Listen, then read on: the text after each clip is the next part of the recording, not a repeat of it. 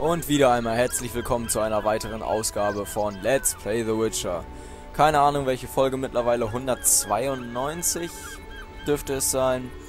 Und da wir uns beim letzten Mal schon ausgiebig, ja, mehr oder weniger ausgiebig, mit den Tränken und den Charakteren befasst haben, werden wir dasselbe dieses Mal mit Orten und dem Glossar tun. Was jetzt mit den Ungeheuern ist, weiß ich immer noch nicht. Je nach Laune. Vielleicht, vielleicht auch nicht. Gut, in The Witcher. In diesem langen, langen Let's Play sind wir bisher, ja, an unglaublich vielen Orten gewesen.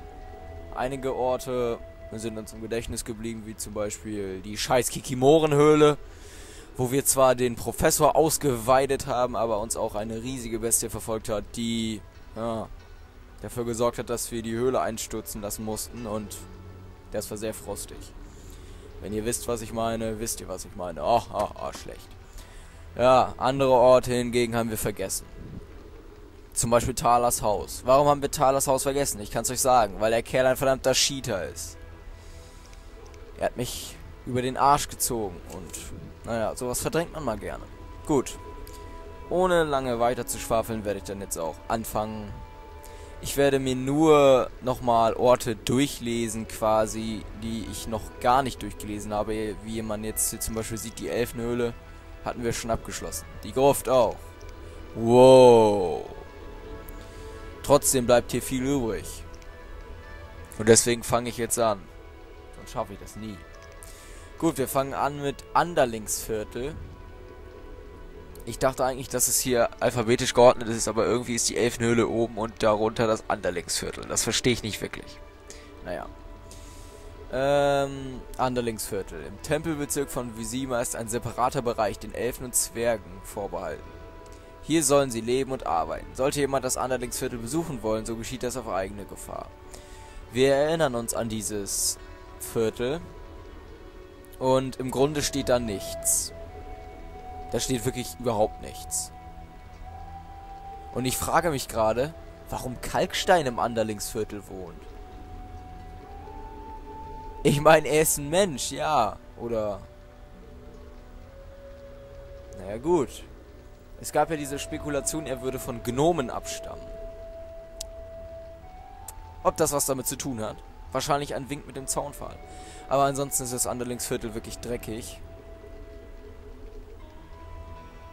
Und ja, eigentlich gibt es da nichts. Vivaldi hat auch dort gewohnt, aber wie auch immer. Gut, kommen wir zum nächsten Punkt. Das Bankhaus Vivaldi. Oh ja, daran erinnern wir uns auch, das war im Händlerviertel. In Visima gibt es, wie in jeder größeren Stadt, eine Filiale des im Zwergenbesitz befindlichen Bankhauses Vivaldi. Uh, in jeder größeren Stadt? Wow. Es befindet sich in einem massiven Gebäude mit dicken Mauern aus Stein. Gepanzerte Tresore werden von bis an die Zähne bewaffneten Wächtern beschützt, während sich die reichen Kunden auf einen diskreten professionellen Service verlassen können.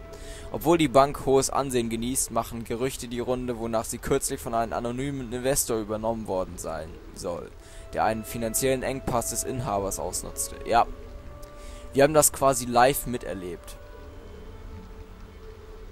Wenn man mal nur bedenkt, was in Kapitel 3 geschehen ist oder auch in Kapitel 2, wo wir den Inhaber Vivaldi sogar als Verdächtigen hatten, weil er die Salamandra unterstützen würde, finanziell. Aber wenn da nicht dieser unbekannte Investor gewesen wäre. Wie auch immer. Jedenfalls, ich glaube, das Bankhaus ist noch gut im Gedächtnis haften geblieben.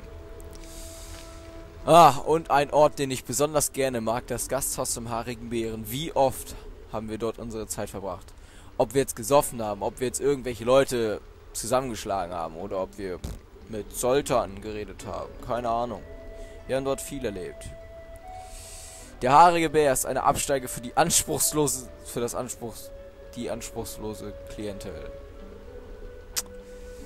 Ich fasse das jetzt mal als Beleidigung auf, Glossar. Das ist nicht sehr nett. Der Schankwirt knausert ganz offenkundig mit der Seife. Das Bier dagegen wässert er großzügig und die dünnen Matratzen muss man mit Ratten teilen.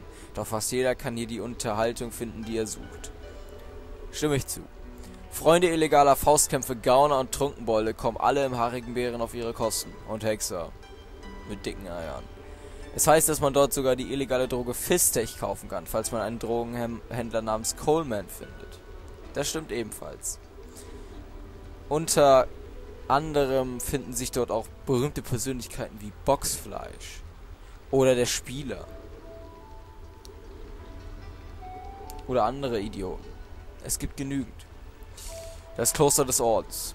Ja, man konnte dort nie reingehen, fällt mir gerade auf. Vielleicht kommt das ja noch.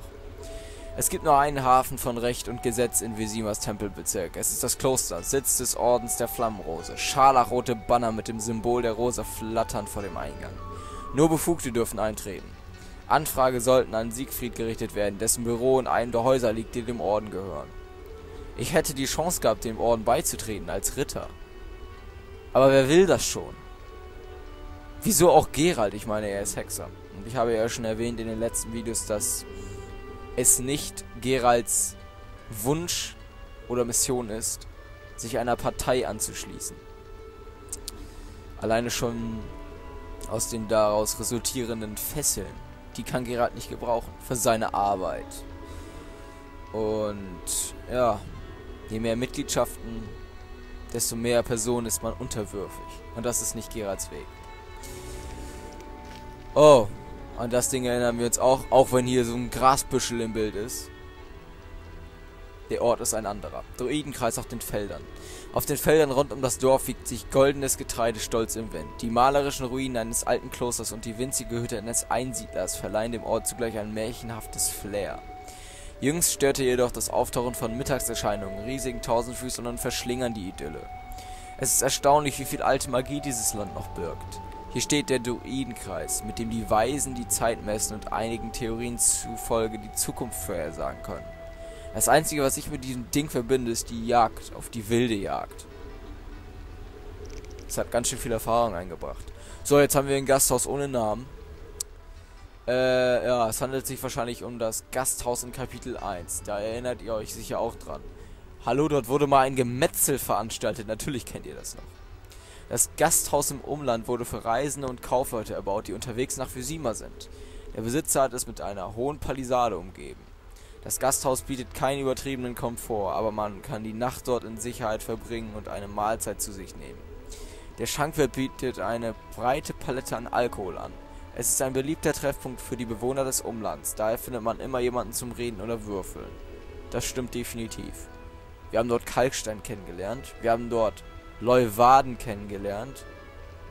Wir haben dort allerlei Gesöcks kennengelernt. Wir haben dort auch, glaube ich, Shani. Nein, Shani haben wir vor dem Gasthaus kennengelernt. Oder kannte Gerald sie nicht schon vorher? Ach, ich bin verwirrt, egal. Gasthaus in Trübwasser. Der beste Hinweis, der einen müden Reisenden zum Gasthaus führt, ist der Geruch vom Brutzeln im Speck, gekochten Kohl und manchmal sogar der berühmten Omelette aus Wivern-Eiern. Ja, das stimmt. Die haben wir extra sogar besorgt, die Eier. Eine Wahrsagerin lebt in einer kleinen Hütte, die an der Seite der Taverne kauert. Das hat uns nicht viel gebracht. Ich mag Abigail einfach nicht mehr. Das vierte Kapitel hat mir Abigail versaut. Naja, wie auch immer. Wir können jetzt das beliebteste Gasthaus in The Witcher äh, wählen. Tadadam. Zur Auswahl stehen das Gasthaus Neunarakor, das Gasthaus Marik Bären, das Gasthaus in Kapitel 1 und das Gasthaus in Kapitel 4. Na, welches ist das beliebteste Gasthaus? Ich kann's euch sagen.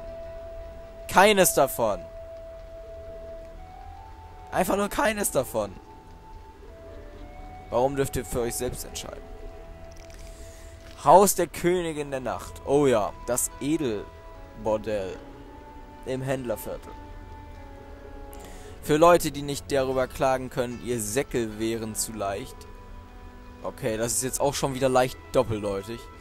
Bietet das Händlerviertel Visimas Unterhaltung auf höchstem Niveau. Im Haus der Königin der Nacht harren die schönsten Frauen der, der Freier und verheißen raffinierte Sinnesfreuden sowie die Möglichkeit, den langweiligen Alltag zu vergessen. Einige Leute scheinen einfach nicht zu kapieren, dass dort Vampire wohnen. Aber egal. Haus des Detektivs. Da wohnt jetzt sein Schmarz, aber das ist egal. In Visima kann man, wie in vielen anderen Großstädten des Nordens, die Hilfe eines Detektivs in Anspruch nehmen, der Experte für delikate Angelegenheiten, diskrete Ermittlungen und das Aufspüren von Verdächtigen ist. Detektiv Raimund Marlöwe steht Tag und Nacht in seinem Büro zur Verfügung. Das ist überhaupt nicht up to date. Er ist tot. Händlerviertel. Ein etwas längerer Artikel. Im Händlerviertel von Visima herrscht geschäftiges Treiben. Dort wohnt die gesellschaftliche Elite der Hauptstadt. Adlige, wohlhabende Kaufleute und Stadtvolk, Zauberer und sogar Stadtvogt Valorant persönlich. Man hält die Kopfsteinpflaster sauber. Lehmziegelhäuser mit Blumen in den Fenstern, die dicht an dicht in den schmalen Straßen kauern, zeugen vom Wohlstand ihrer Bewohner. Schließlich kann sich nicht jeder ein Haus im besten Stadtviertel in unmittelbarer Nachbarschaft von Foltes höchstpersönlich, höchsteigener Burg leisten. Die wir bis jetzt noch nicht besucht haben, aber vielleicht kommt das ja noch. Im Händlerviertel gibt es einen großen Marktplatz, wo Kaufleute Luxuswaren aus aller Welt anbieten. Gleich daneben findet man das eindrucksvolle Rathaus. Aufgrund der Quarantäne können derzeit nur wenige Leute, die dafür im Besitz eines Freibriefs sein müssen, diesen Teil Visimas betreten. Wir haben es trotz alledem geschafft. Sonst hätte es Kapitel 3 nie gegeben. Und wir wären direkt in Kapitel 4, wenn überhaupt die Ereignisse von Kapitel 2 alleine dazu geführt hätten, dass wir in Kapitel 4 gekommen wären und so weiter. Ihr wisst, was ich meine. Kerr Morhan. Oh Mann, ist das lange her. Wie lange ist das her? 100? 180 Episoden, dass wir Kerr Morhan verlassen haben? Ziemlich lange. Kermorhen ist eine unzulängliche Bergfeste, in der seit Jahrhunderten die Hexerzunft ihr Hauptquartier hat. Der Name leitet sich aus Elfensprache ab, in der Ker äh, Murien so viel wie Festung vom alten Meer heißt. Die Burg hat ihre besten Zeiten längst hinter sich. Zinnen und Burggräben sind verfallen. Ein kalter Wind weht durch die geräumigen Hallen. Momentan lebt nur eine Handvoll Hexer hier, aber einst absolvierten viele Knaben die grausame Ausbildung im berüchtigten Höllenloch von Kermoren. Also, dass die Festung nicht mehr die beste Z äh, Zeit genießt, das konnten wir im Prolog erkennen. Trotzdem haben wir eine Belagerung standgehalten. Wir können froh darauf sein, auch wenn ein Hexer gestorben ist. Für den wir eigentlich immer noch... Ja doch, wir haben Rache eigentlich geübt. Bis auf Asa Javed, diesen Penner. Das Laboratorium. Das berühmte Hexerlaboratorium birgt die bestgehüteten Geheimnisse der Bruderschaft. Mutagene Pflanzen, halluzinogene Pilze, natürliches Stimulantien und Zutaten für Tränke. Hier müssen sich die jungen Lehrlinge der unglaublich schmerzhaften Prüfung der Gräser unterziehen, die nur wenige überleben, die dann allerdings mit übermenschlichen Kräften ausgestattet sind. Im Laboratorium, ja, wurden die Hexergeheimnisse gestohlen. Echt ein trauriges Ereignis. Ich frage mich, was Asa Javed noch alles damit vorhat. Wir werden es wahrscheinlich noch sehen. Neun Narakord. Da haben wir doch das gute Stück.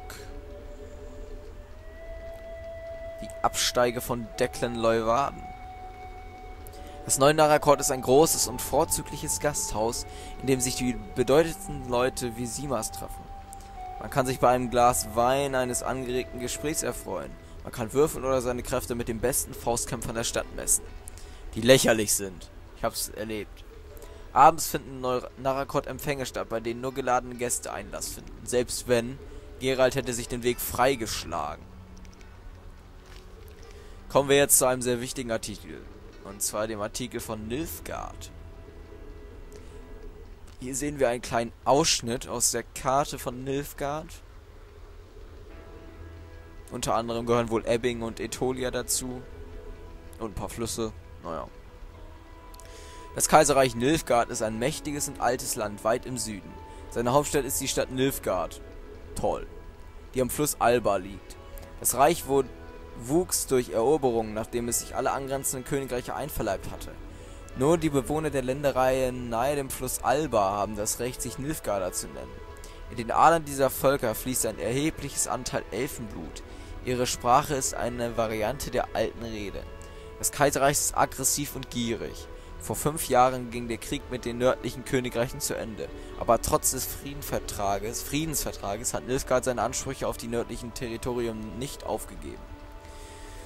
Oh, ich hasse solche Aggressoren, die einfach nur alles erobern wollen.